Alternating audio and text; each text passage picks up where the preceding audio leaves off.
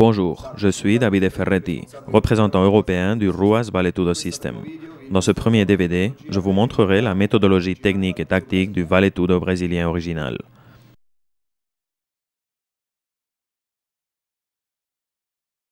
Commençons par la position de garde. La position de garde est très importante dans le Valetudo, car elle nous permet de passer d'une distance à l'autre. Avoir une garde organisée nous permet d'obtenir une bonne défense, une bonne attaque et une bonne contre-attaque. La position de garde doit nous permettre d'envoyer des coups de poing, des coups de pied, d'attaquer de serrer la distance et de pouvoir nous défendre de l'adversaire. Nous atteignons la position de garde en faisant un pas en avant, en plaçant la pointe des pieds en diagonale et en déplaçant le poids sur la partie avant des pieds, de manière à libérer les talons et à pouvoir profiter au maximum du mouvement des muscles postérieurs des jambes. Nous fléchissons légèrement les genoux, nous rentrons le bassin de cette façon et nous contractons l'abdomen. La main droite et le poing droit fermés et appuyés à hauteur du menton. L'épaule gauche légèrement au-dessus de la droite, protégeant le menton. Le poing gauche un peu plus haut que l'épaule gauche. Le menton vers le bas et le front vers l'avant.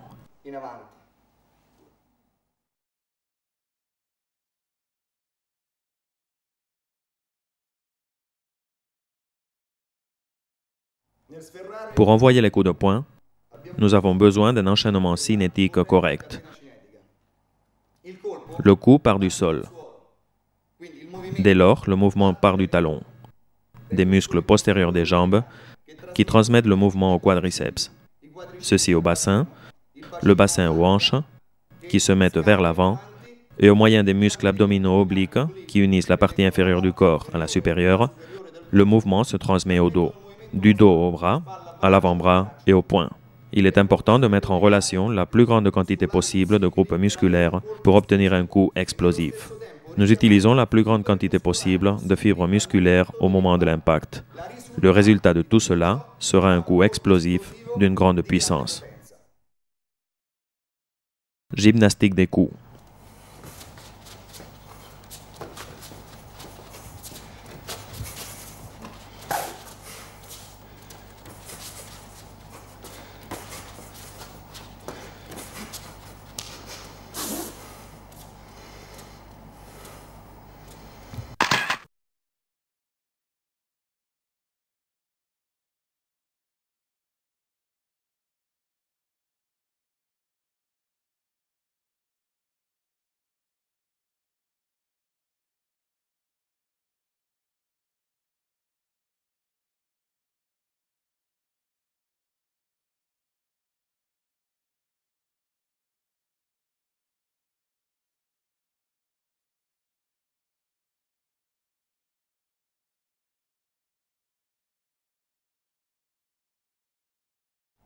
Chaque coup possède trois phases fondamentales. La première est la préparation du coup, qui est accompagnée de mouvements techniques qui nous permettent de détendre tous les muscles impliqués, d'atteindre la distance juste avec l'adversaire, de couvrir le départ de notre coup, le rendant invisible et explosif. C'est un aspect fondamental de ce travail qui caractérise chaque type d'athlète. Ce mouvement peut être accompagné de balancement, de feinte, avec des mouvements du corps qui obligent l'adversaire à être toujours dans une situation de défense et à ne pas pouvoir organiser son attaque. Cela nous permettra de cacher notre attaque à notre adversaire. La deuxième phase est l'exécution du coup. Le coup doit être explosif. Il doit être accompagné de la détermination adéquate. La troisième phase, la plus importante, est la sortie de la distance. Au moment où se termine notre attaque, dans cette position, nous pouvons recevoir une contre-attaque de la part de l'adversaire. Une fois réalisée l'attaque, il est très important de sortir de la distance pour éviter l'échange de coups.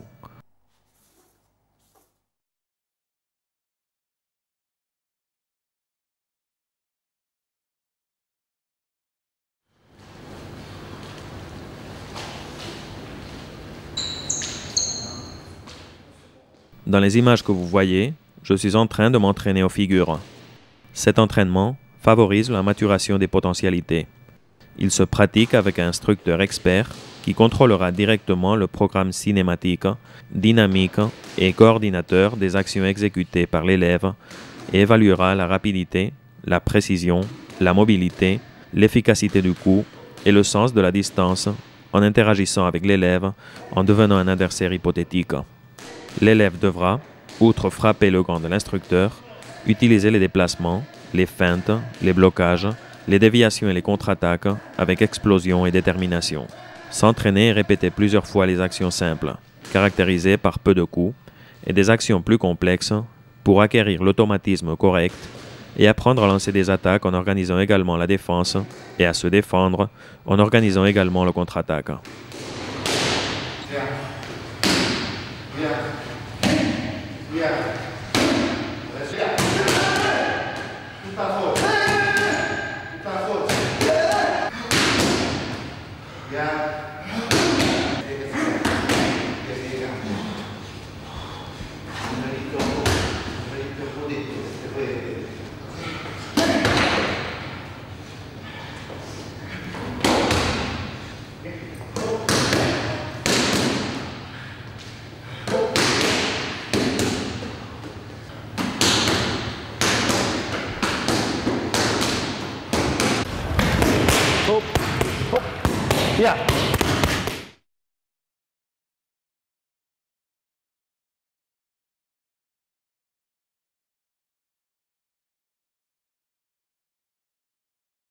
Série de coups directs.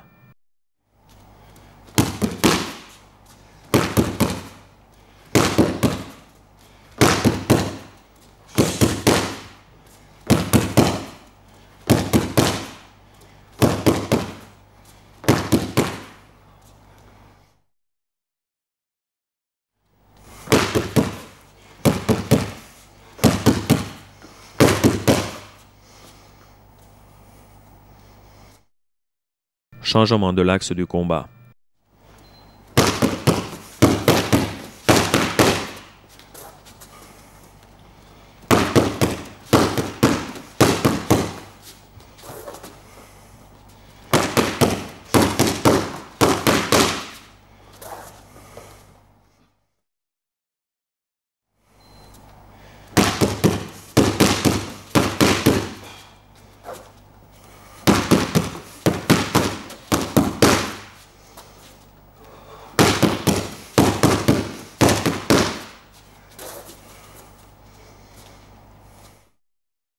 Direct en reculant.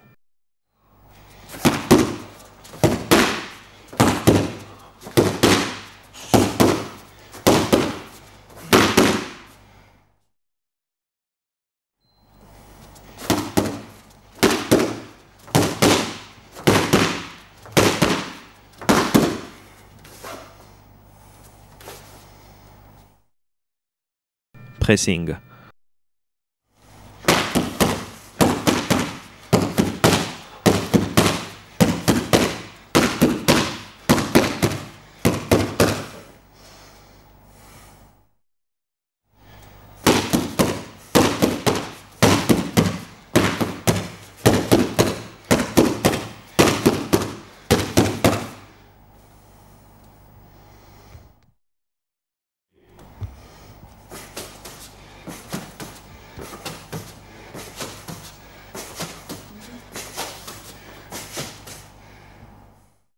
Défense au moyen de l'esquive avec flexion et torsion.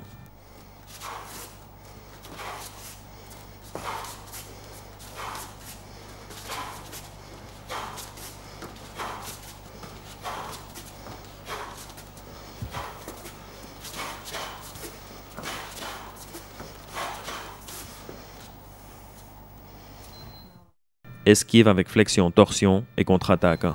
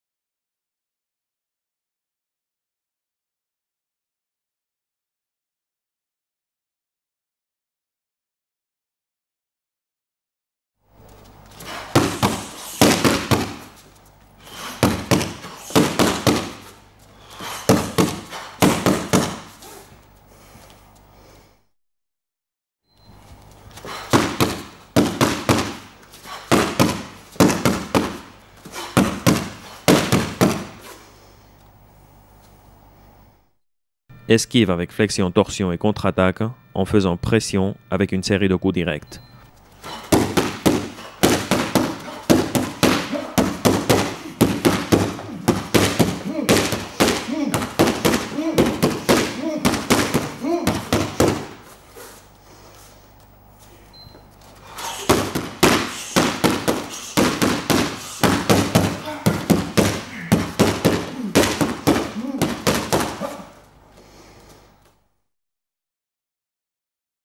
De rencontre.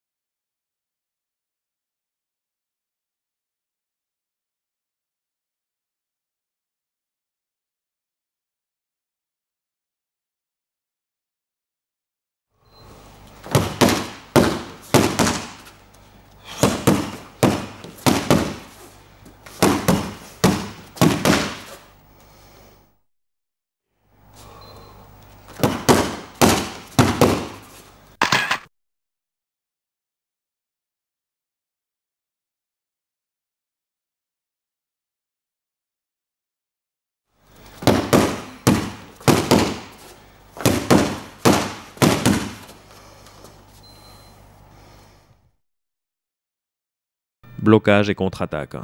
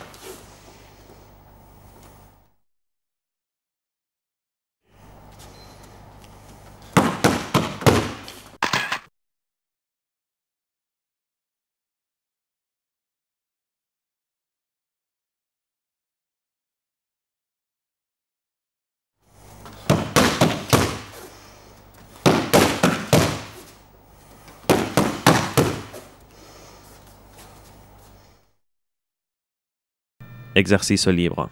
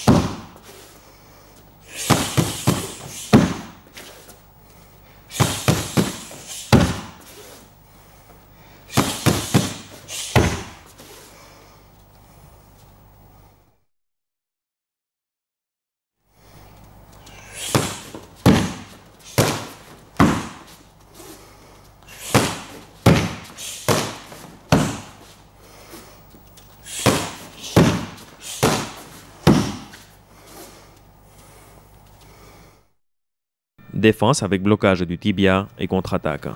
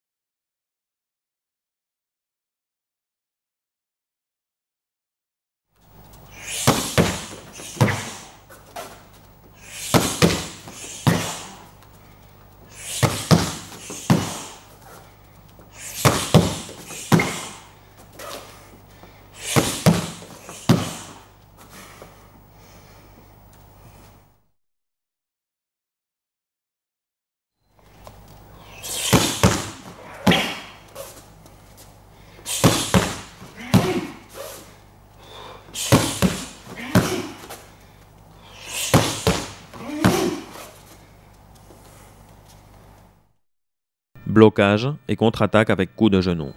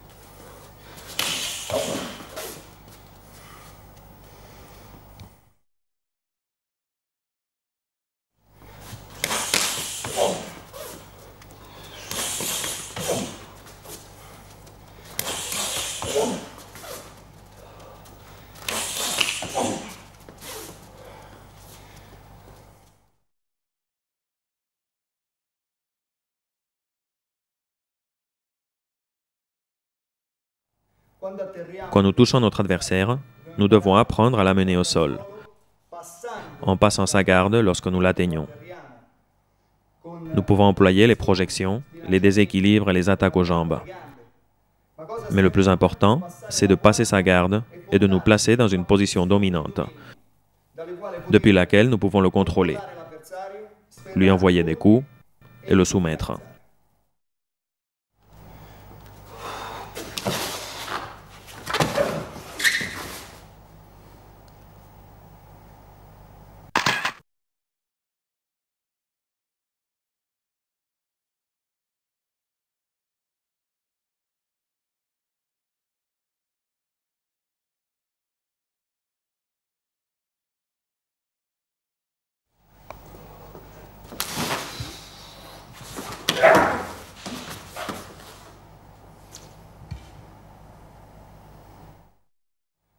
Nous avons vu comment amener l'adversaire au sol. Maintenant, nous devons apprendre à nous concentrer sur le mouvement de l'entrée. Nous cacherons notre attaque.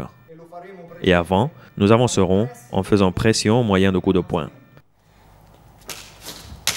L'adversaire passera à une situation de défense et ne pourra pas réaliser une garde organisée qui pourrait freiner notre attaque à ses jambes. À la fin de notre pressing, nous attaquerons ses jambes de manière explosive pour l'amener au sol.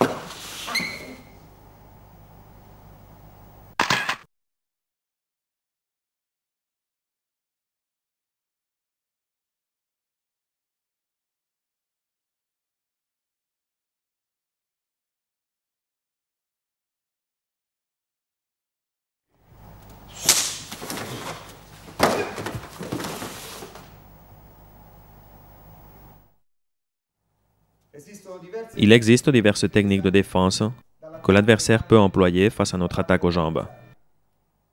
Face à notre attaque, le premier mouvement qu'il peut faire, c'est saisir nos jambes et pousser pour nous freiner. Le deuxième mouvement, introduire notre main derrière sa tête et nous entrons en contact avec son visage. Ensuite, nous réalisons ce mouvement circulaire pour tourner son menton. Ce mouvement doit être réalisé de manière fluide et avec énergie.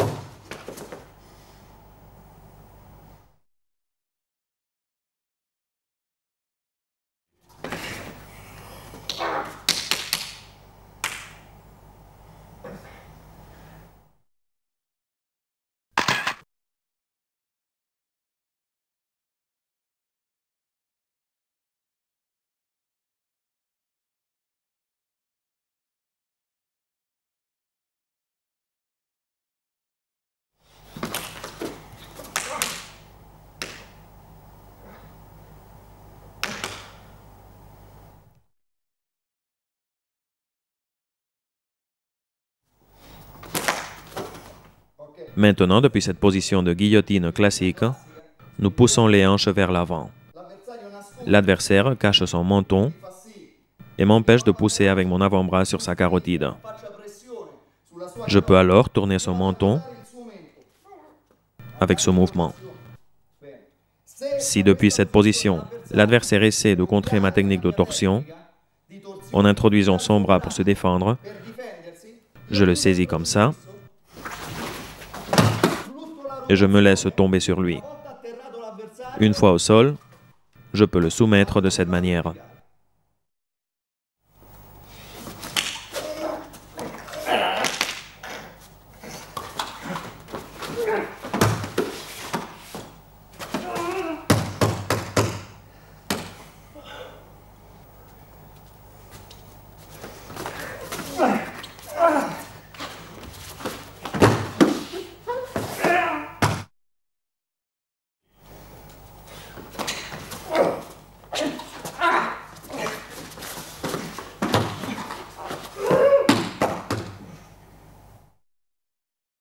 Dans cette technique, je fermerai la distance en attaquant la taille de mon adversaire.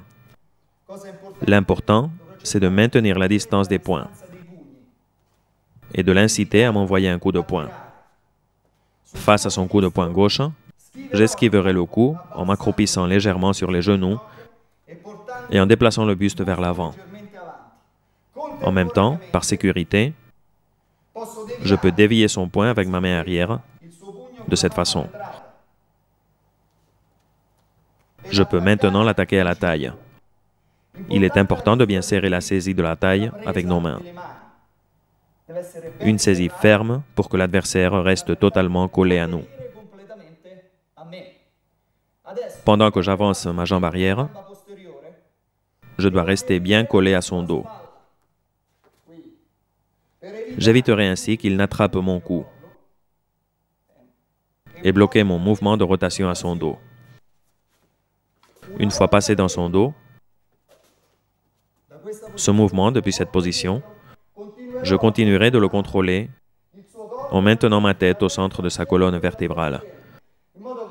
De cette façon, je peux éviter qu'il me saisisse les bras ou me frappe. Ensuite, en maintenant mon corps collé au sien, je charge le poids sur mes jambes, je soulève l'adversaire je pousse avec le genou pour le déséquilibrer, l'amenant au sol pour le dominer.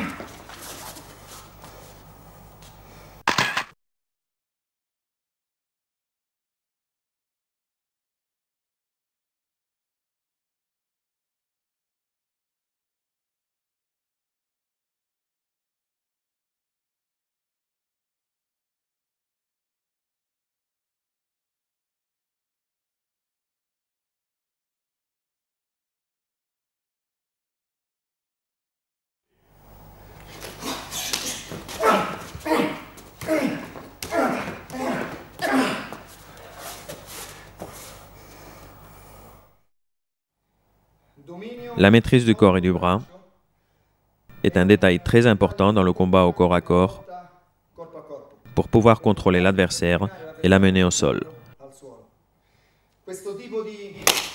Ce type de prise peut se retrouver dans une multitude d'actions techniques.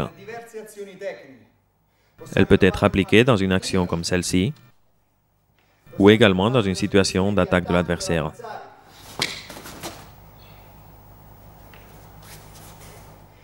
Les positions dans lesquelles on peut, dans ce cas, trouver l'adversaire sont au nombre de deux. La première, c'est avec sa jambe en avant.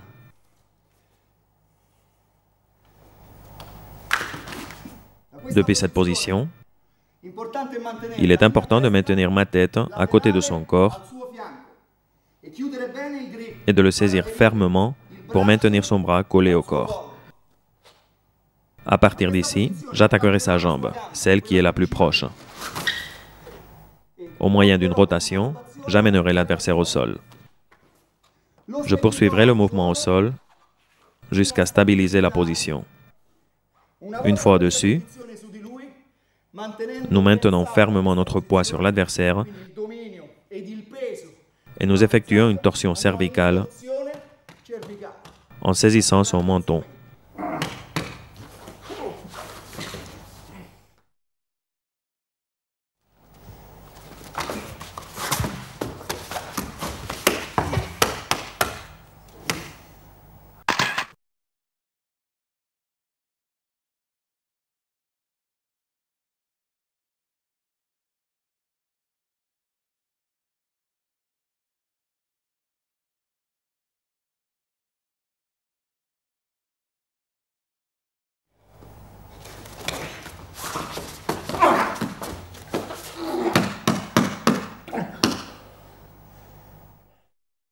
L'autre possibilité pour cette situation, c'est avec sa jambe arrière.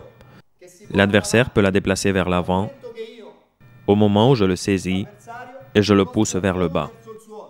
Si sa jambe ne reste pas en avant et que je ne pas l'atteindre, je me lancerai alors en dessous avec ce mouvement de rotation très rapide. Ici, je maîtrise l'adversaire au sol et je réalise une technique de torsion cervicale.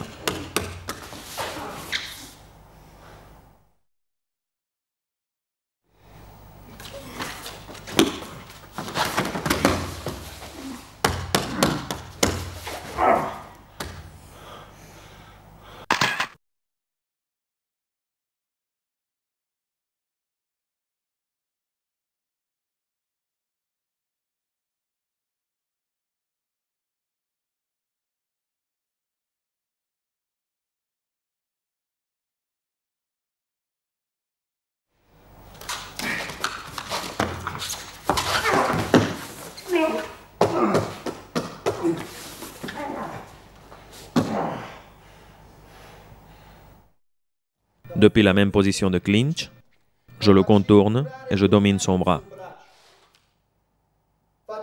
Maintenant, avec mon avant-bras, je crée un espace entre les deux et j'attaque sa jambe. Je dois faire attention à ce que son coude reste dans cette position. Je maintiens la tête droite et je saisis sa jambe, mais pas derrière son genou, car il pourrait réaliser ce mouvement défensif. Je dois la saisir en dessous des fesses, ici. À partir d'ici, je tends ma jambe et j'effectue une rotation sur le flanc. Une fois au sol, je change de position en sortant la tête et j'amène mon genou dans son dos, contre sa hanche. Maintenant, je me redresse pour atteindre une position dominante.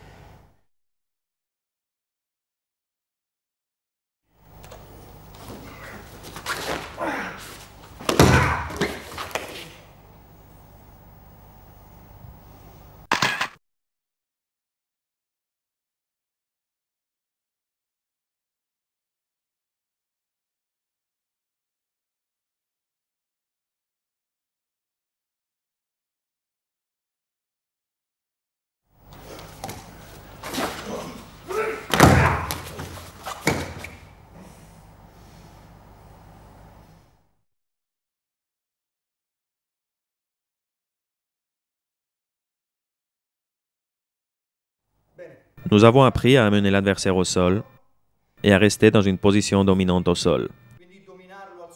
Mais ce n'est pas toujours possible.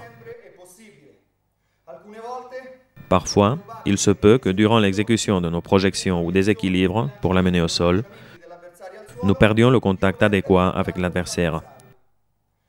la Il peut terminer au sol et moi rester debout. Ici, je devrais apprendre à passer sa garde, à serrer la distance entre les deux pour reprendre une position adéquate qui me permette de maîtriser l'adversaire. Depuis cette position, je vais saisir ses talons au moyen d'un mouvement gauche-droite pour le désorienter. Maintenant, je place mon genou sur son estomac. Je m'appuie sur la jambe gauche. Il est important que ma jambe reste pliée comme ceci et non tendue. Si ma jambe est tendue et que l'adversaire bouge, je cours le danger de perdre le contact. Si ma jambe reste pliée et appuyée, je pourrai suivre tous les mouvements de l'adversaire. À partir d'ici, je peux le frapper du poing, le contrôler, continuer en frappant ses défenses, l'annuler et continuer de frapper. Pour l'attaque avec les poings, la manière de charger les coups est importante. Dans le combat au sol, il est important de charger le coude vers le haut, que ce soit pour frapper avec les jointures du poing ou pour frapper avec le coude.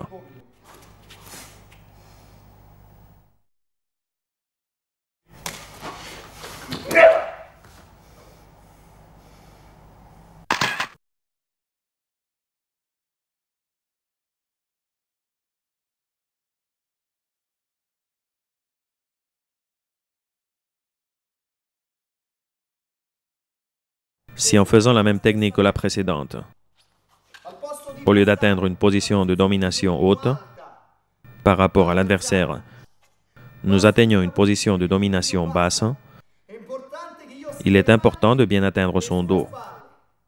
De cette manière, je pourrai placer correctement tout mon poids sur l'adversaire.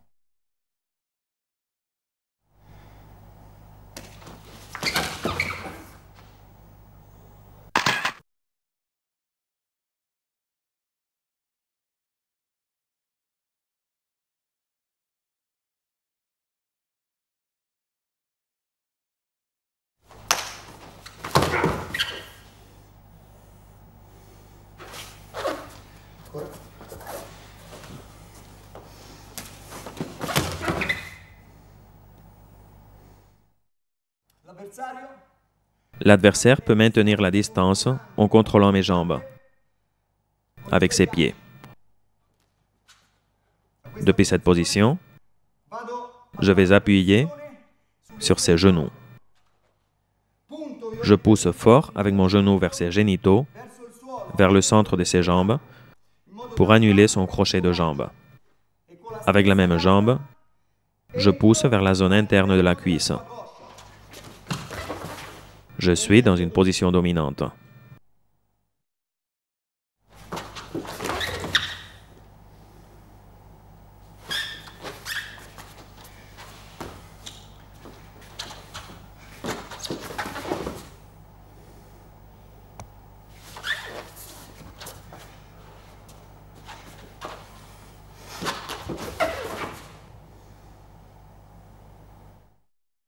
De nouveau, dans la même position que la précédente, avec la garde de l'adversaire qui nous accroche avec les pieds.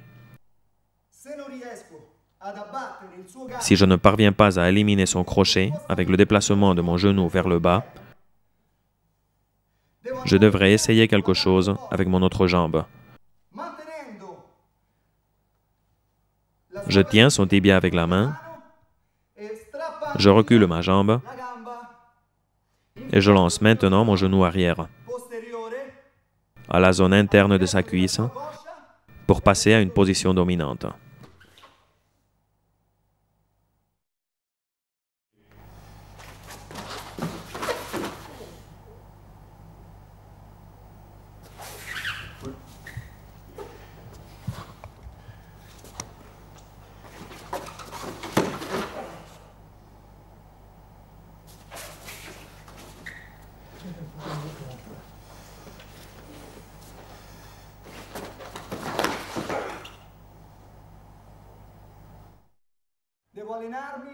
Nous devons nous entraîner à la combinaison des deux techniques antérieures de passage de la garde avec crochet de l'adversaire. Si je ne parviens pas à surmonter son crochet avec la poussée de mon genou, je recule mon autre jambe et je me lance entre ses jambes.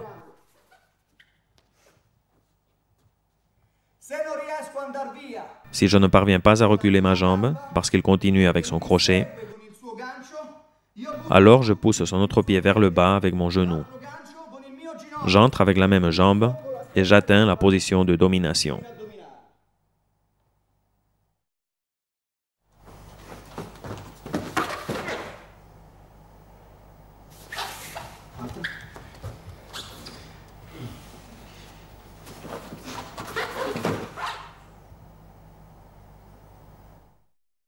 Passage de garde serré.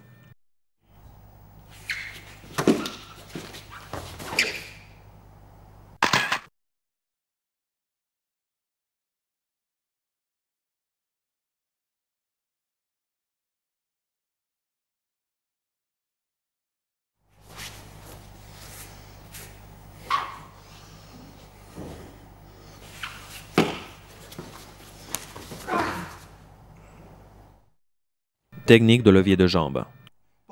J'amène mon genou au centre de ses jambes pour pouvoir faire pression et ouvrir sa garde. Tandis que j'ouvre sa garde, je me déplace vers l'arrière, je saisis sa jambe et j'amène mon genou entre ses jambes. Nous maintenons le genou en haut pour éviter qu'il ne se redresse, créant ainsi un espace entre les deux.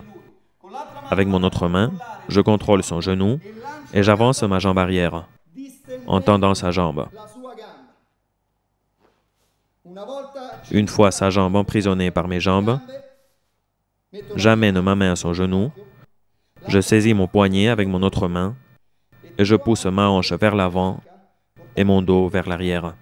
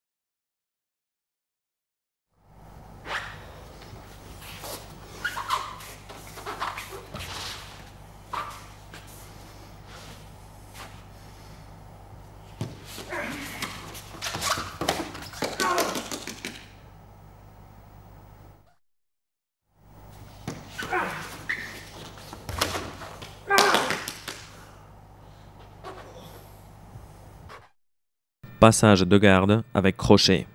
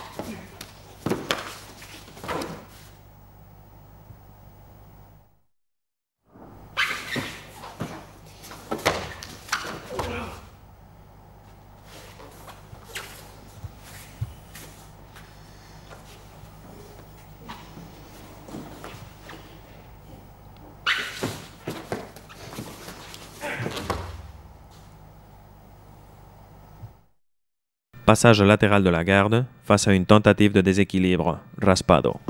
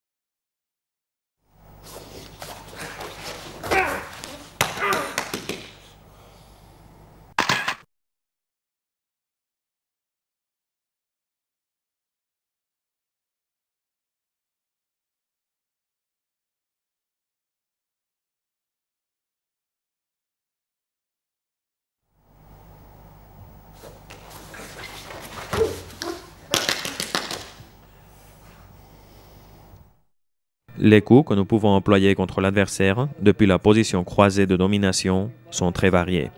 Nous devons apprendre à les réaliser en les combinant tous. Si l'adversaire bloque mon coup de coude, je lancerai de coups de genou. S'il bloque mes coups de genou, nous attaquerons de nouveau avec le coude.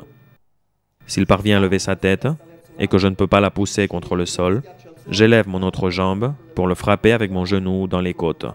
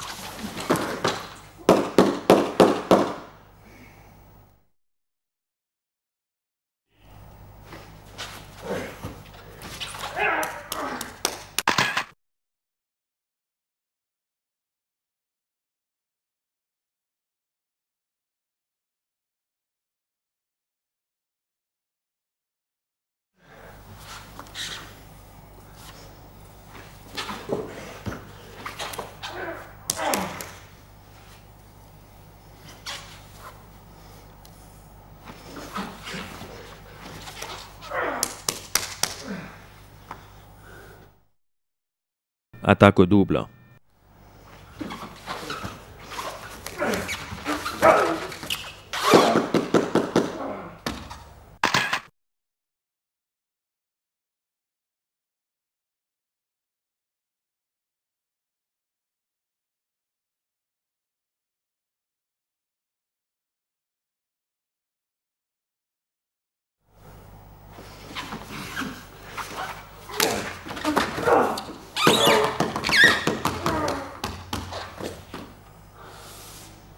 Yeah.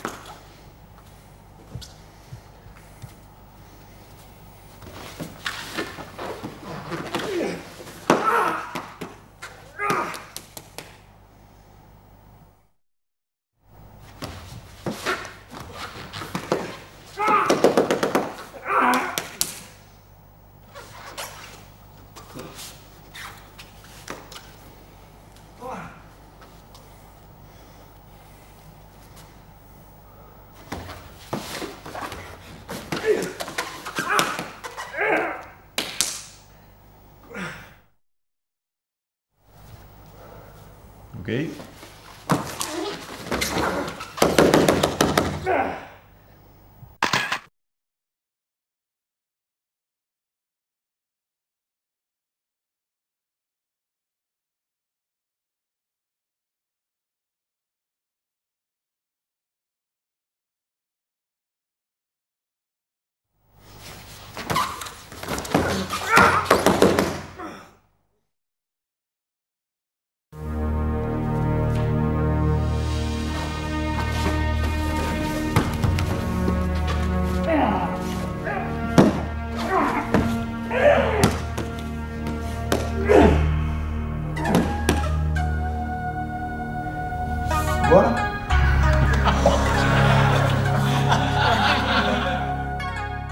Parvenir à être un combattant complet, entraîné dans chacune des zones de combat, est l'objectif de chaque pratiquant de Ruas Valetudo.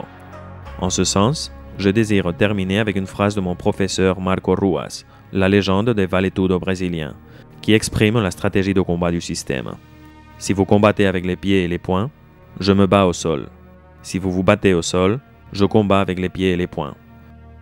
Bon entraînement et au prochain cours.